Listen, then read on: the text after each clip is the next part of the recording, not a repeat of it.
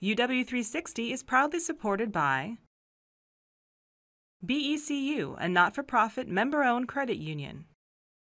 Pacific Office Automation, copy, print, workflow, and IT. Problem solved.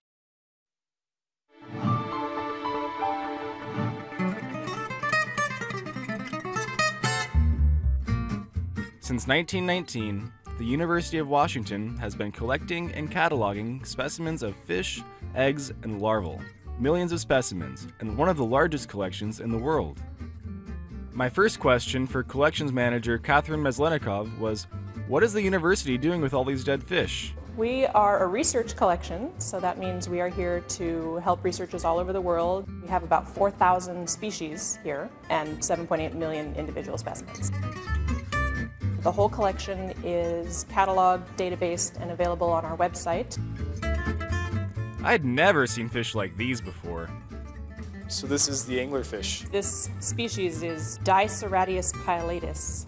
This is the lure here. This is actually the um, dorsal fin, and it's been modified into this luring appendage, and so it, it will glow in the dark down there. There's bacteria that is inside the lure, and it glows in the dark, and they attract prey by dangling this thing around in front of their mouth.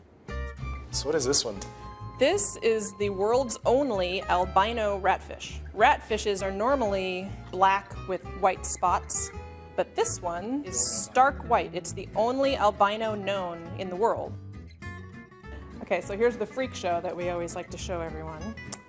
Oh man. This is our two-headed spiny dogfish. So you can see it's got, it's kind of like a Siamese twin. It's got two heads but one body. That it's been here longer than anybody knows. There's nobody here who knows where this came from. It's just, it's just a, a mystery. We've kind of doubled the storage size of this room by having these moving shelves. So with two fingers, I can move hundreds of pounds, hundreds of jars.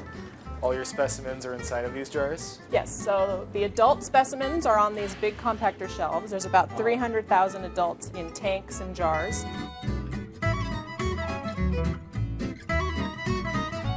We get to see some deep sea, crazy looking anglerfishes and viperfishes and, you know, such fun deep sea things that you wouldn't get to see anywhere else.